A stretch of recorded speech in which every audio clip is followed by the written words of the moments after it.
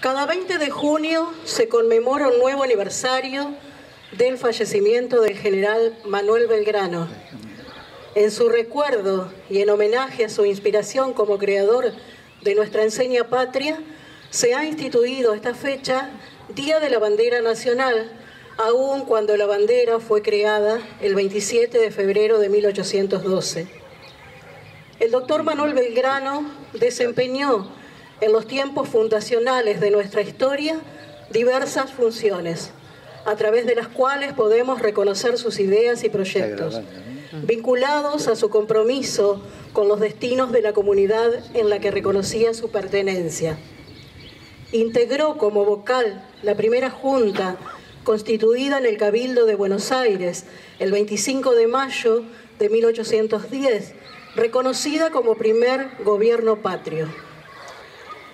En el inicio de las guerras de la independencia, cuando las ideas de patria y nación estaban en ciernes, y a pesar de no contar con formación específica, asumió la responsabilidad de llevar adelante diversas misiones militares, con la finalidad de incluir en la causa patriota a todos los territorios que habían formado parte del virreinato del Río de la Plata y desplazar a las tropas realistas fieles a la monarquía española. El doctor Manuel Belgrano es reconocido como uno de los héroes de la patria referido como símbolo de la identidad colectiva. Ocupa un lugar en la narrativa histórica argentina que, en consonancia con otras naciones hispanoamericanas, refiere a los tiempos de la independencia para la selección de las personalidades que hicieron posible la unificación de una conciencia nacional, especialmente a través de la historia enseñada en las escuelas. La bandera argentina es uno de nuestros símbolos patrios y sus colores hoy nos identifican ante el mundo. El 20 de junio de 1820 moría en Buenos Aires Manuel Belgrano, en la pobreza extrema, olvidado y asolado por la guerra civil. Belgrano, el estadista, el militar, el abogado, el político, el economista, un visionario con una personalidad multifacética, una persona preocupada y, ocupada por todo lo que implicara posibilidades de desarrollo y el futuro de nuestro país. Una persona que, a través de una genial desobediencia al gobierno de turno en aquel momento, que allá por 1812 era el triunvirato, llevó a cabo una verdadera demostración de amor a la patria y de decisión de buscar la libertad de nuestra patria al crear nuestra insignia nacional. En nuestra historia, la creación de la bandera nacional fue un hito importantísimo para la permanencia como símbolo de solidaridad y libertad por sobre todas las cosas y la representación de los ideales de aquellos patriotas de Mayo. Es al mismo tiempo un recordatorio de nuestros objetivos como nación, para lo cual es sumamente necesario revelar los actos de dependencias a otras naciones, luchando contra la idea de que lo de afuera siempre es mejor, valorando lo nuestro, a nuestra gente, nuestra cultura y nuestras fuentes de producción nacional, pensando en el otro, en las necesidades de nuestros compatriotas sin claudicar nunca. invito al señor presidente municipal, a las autoridades presentes para hacer izamiento en este día de nuestra bandera nacional. En el cielo, una águila guerrera,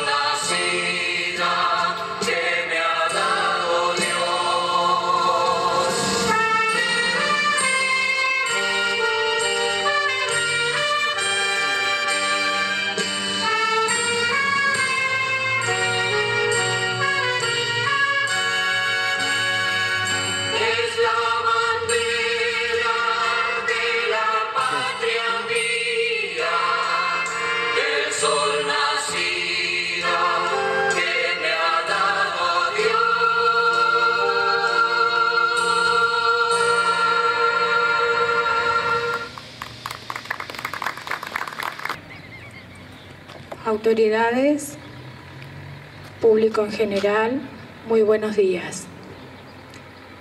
Hoy no es un día de la bandera más.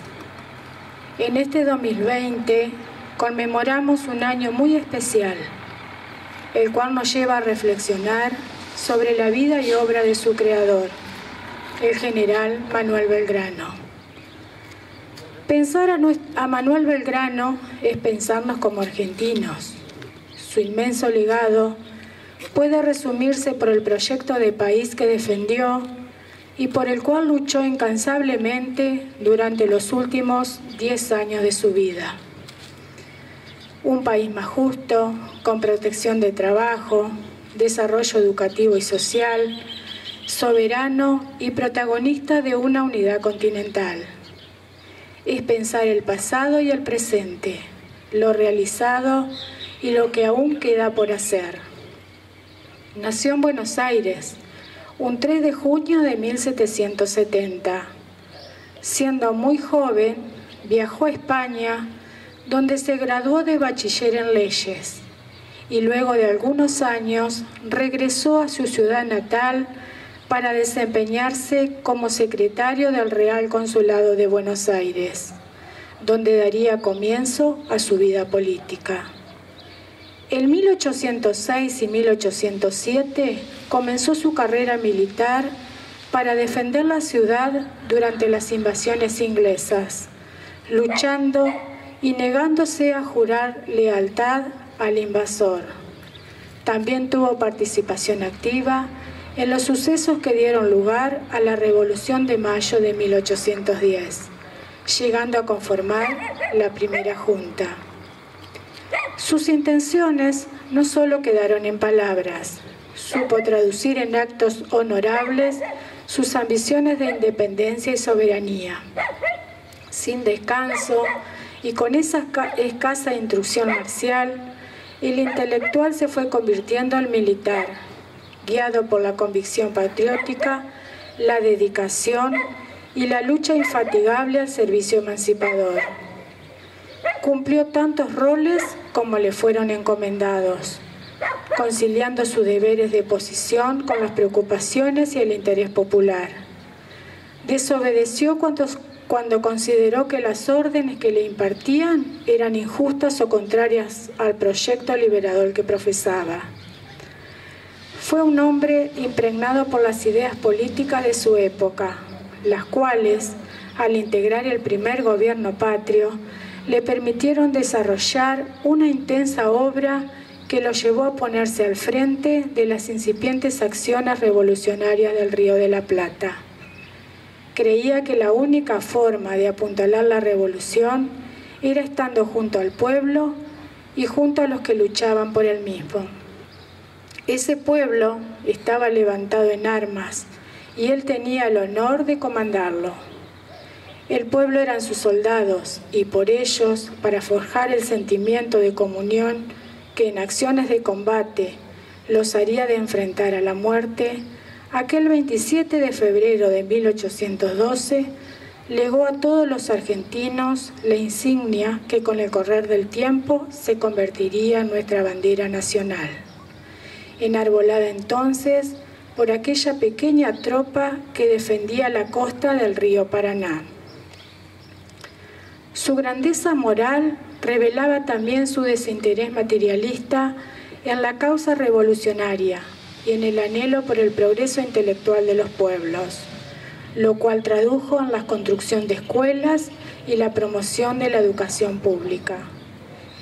En este 2020, declarado el año del general Manuel Belgrano, con motivo de cumplirse 250 años de su nacimiento y conmemorando el bicentenario de su paso a la inmortalidad, celebramos a uno de los padres fundadores de la patria un hombre cuya vida es ejemplo de lucha y entrega a su pueblo, un hombre que asumió su destino por la causa que defendía, un hombre que renunció a todos sus privilegios.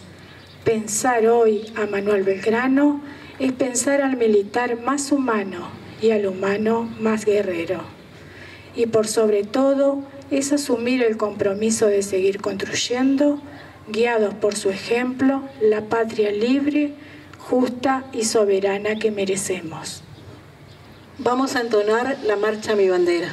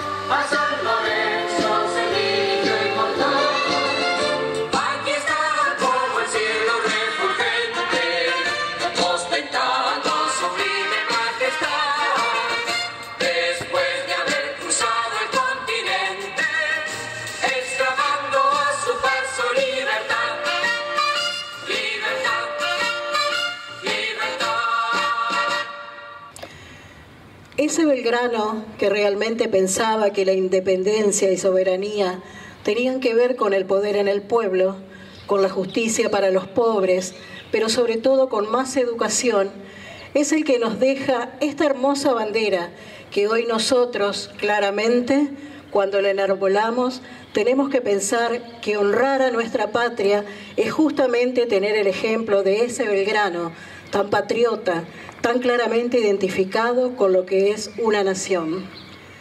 Sin dudas, como habrán visto, este no es un año común como todos los anteriores, es un año muy especial en el cual no contamos con la presencia de las banderas de ceremonia de nuestras instituciones debido a la particular situación que estamos viviendo todos al decretarse la pandemia frente al avance del COVID-19 y establecerse el aislamiento social preventivo y obligatorio y consecuentemente la suspensión de diversos actos públicos, a pesar de que nosotros hoy estamos acá conservando la distancia sugerida.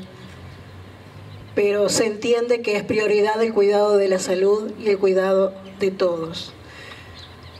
Seguidamente, después de terminado este acto, se va a hacer la colocación de una ofrenda floral en el busto del general Manuel Belgrano. Queremos agradecerles a todos por su presencia esta mañana aquí. Queremos desearles a los padres que mañana tengan un hermoso día, que cada uno pueda festejarlo como pueda, a su manera, con sus hijos cerca o con sus hijos lejos, pero que sea un día muy lindo. Muchas gracias. Están invitados a acompañar al presidente municipal, a las autoridades, a hacer eh, la colocación de la ofrenda floral frente al busto del general Manuel Belgrano. Buenos días, muchas gracias.